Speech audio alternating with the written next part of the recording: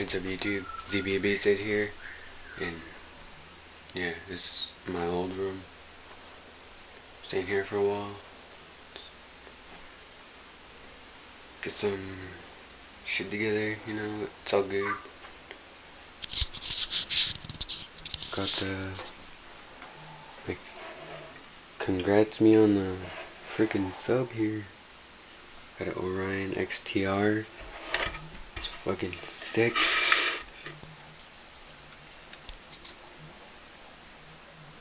Four ohm voice coil. Let's see if it'll focus.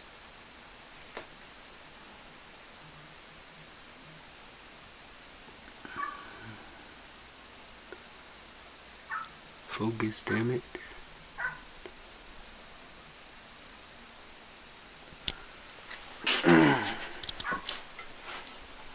Other stuff. Yeah, I have two of them. Look. Two Orion XTRs. The surround on this is good.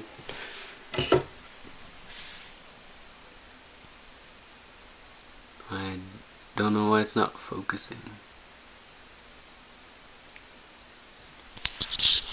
But yeah, um, you look them up, there's this one like link on Google when I typed it in. They are Orion XTR Series 2 or something like that. I think they go by series instead of stage 2. But they're all kind of the same thing. But just look those up. They're fucking sick. Like single voice coil, 800 RMS. These are SPL competition subwoofers. Mm. I'll show you the box too after after I get it. I'm just getting the surround repaired because when I got these, the guy didn't tell me that the surround on it was repaired by him. Like, look at that shit. I do not know what kind of like rubber glue he used, like this like thick glue that would just harden up after. And like look. It does that everywhere. Like he did that every like couple spots. Thought he was gonna make it stronger so it wouldn't break, and then kind of looks like he just coated it all over. Like the surround on this is ugly. It's, it's hard. Not not like this one. The surround on this one. It's like how it's supposed to be. Oh, there's my girlfriend.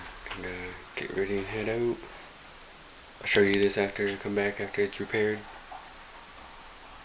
Yeah. Give it two thumbs up. Show the other one. For the subs, 800 RMS, single voice coil. Believe it or not. Yeah. What's up guys, I'm back from a week. It took a week because I got the tinsel leads changed. I showed you, like you could see it in the dark now, they're silver tinsel leads. I don't know what they're made of, he didn't tell me, he just repaired them. Because I showed you in the beginning of this, when I said I was going to get it repaired, because I showed you, like, this isn't the other sub, this one kind of looks different than the other ones. This one's repainted. But yeah, this guy was really shocked about this sub when I brought it in. I'm like, I was shocked when I got them, like, holy shit. Like, hey man, I'm on a low budget audio like deal here.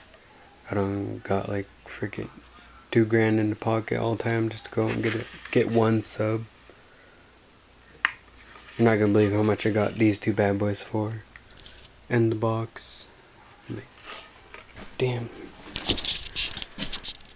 Like, okay, here it is. There is the beast.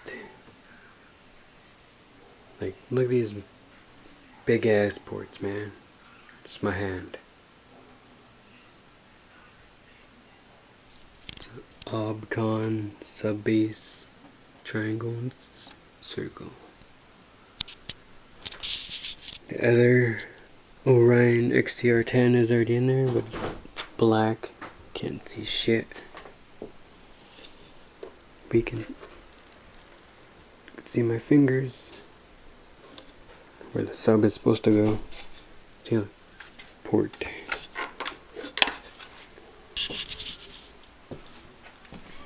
But yeah.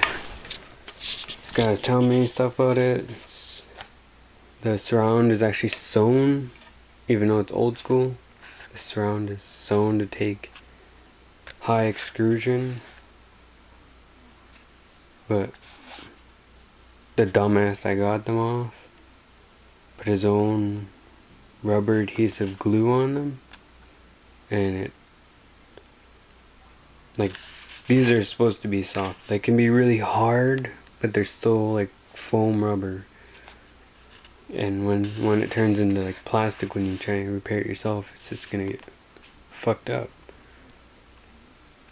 Like I went with duct tape for a little while. Like I seen people do that. They just go a little bit onto the cone and basically on the edge here. And that acted like a surround. That's like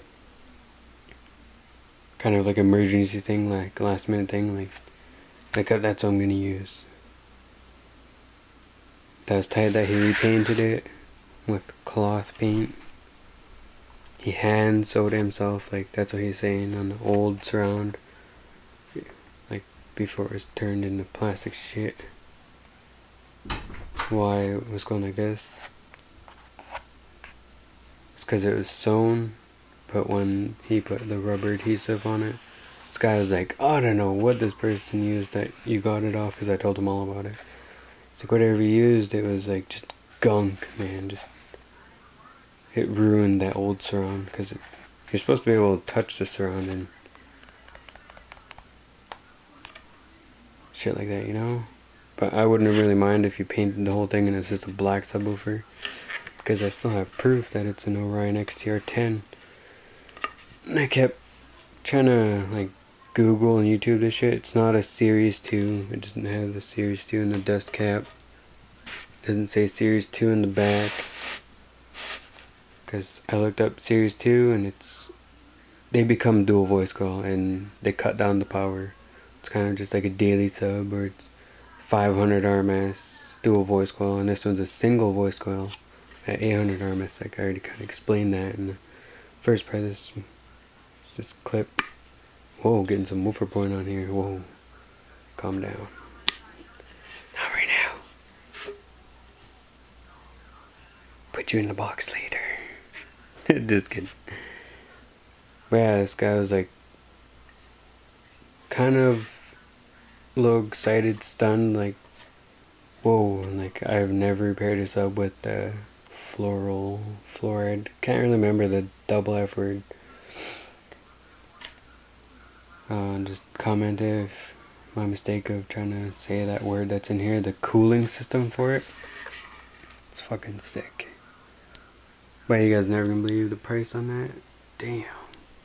Big ass box. 1600 RMS together. Now we just need a big ass amplifier. Like there's a Orion 3700D that does 1500 RMS at 4 ohms. And that's just perfect for these two. Just 4 ohms in each one. But if I had to, like, if only has one input because it's a monoblock, um, just have it run at 2 ohms. I'd give it a little more power, but I'm good with the Massive P1000 at 2 ohms. Because when I got a demo of this, holy shit. like damn when I first start looking at this and I took out the box I was like damn this this sub is fucked now just feeling it he said he centered it back up because after trying to play it he's he said I was lucky that I didn't keep using it as a a sub with a fucked up surround because if he said if I did it'd start going off balance and it'd probably just pop out at some point because it's not getting held back anymore. Like I wasn't gonna rely on duct tape forever. But he he said he was surprised that this little thing packs a punch because it has a small motor it has a really good spider and its basket's pretty basic. And he fixed up the um, like the leads on them where I hook up the wire for the box. Like they used to move. But I kind of think he redone it. Like look, there's it's kind of dark. It's you can kind of see that hole right there. I'm not sure if he moved it, but it's repunched back in, like he put some new ones on there. I kind of think he put new ones on there. Sorry that this video is, the second part's long, and the first part's only like two, three minutes. Yeah, he really fixed this up.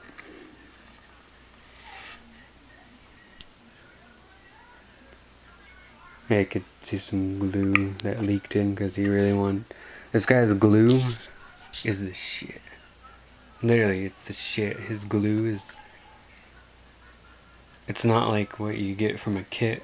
He got this from some guy that made it up himself, and then this guy that got that glue off of him added a little something of him. Like, added a little some other kind of like chemical so it works even better. Because it said as soon as you like touch it it's like super glue but it's like you could still move your fingers it's like really gooey. But yeah it'll still hold as strong as super glue. But it's not easy to remove after it's been sitting there for a while yeah, give fucking thumbs up for a good repair on this guy. Like, look, you can already see the sewn surround. Like, I don't think it's possible if, if you put a bigger surround on it, like today's kind of surround, where you have to, you have to like actually sew into the cone. But I still like it. It's fucking 1600 RMS. Uh,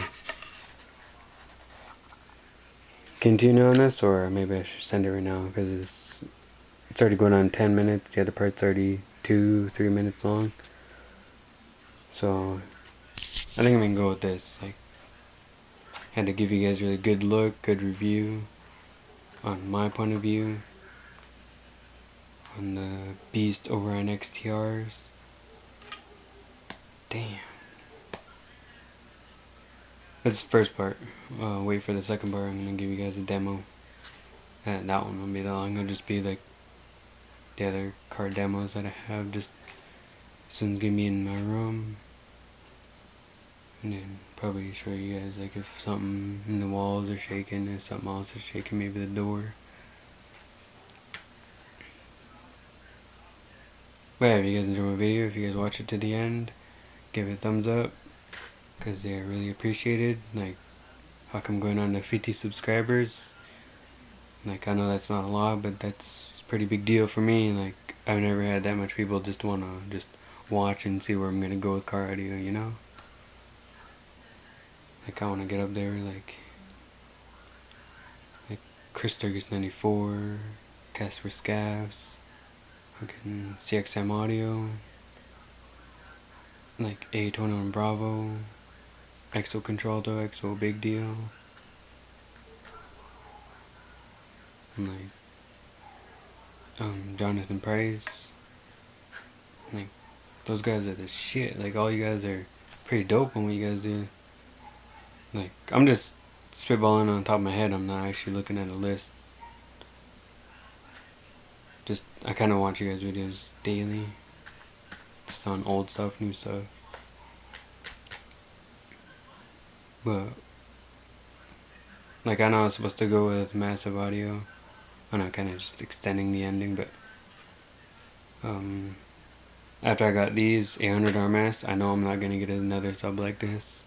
If I went with massive audio, I'd probably get like 500 RMS, but I'm to stick with these for a long time. I'm not to trade these up, I'm not to sell them. They keep going, they keep going, I could put a recone kit in this. Keep that fluoro, fluoride or whatever the fuck it's called in it, keep that cooling system in there, or get an upgraded cooling system. But yeah, um, subscribe, to become basic bro today, and get this beast in its box. Can't to see what it does. I think I might get a car, because I don't have no more truck box. And I got two in that beast box. Yeah, it's the longest video. But yeah, it's ZBA Basshead. Peace.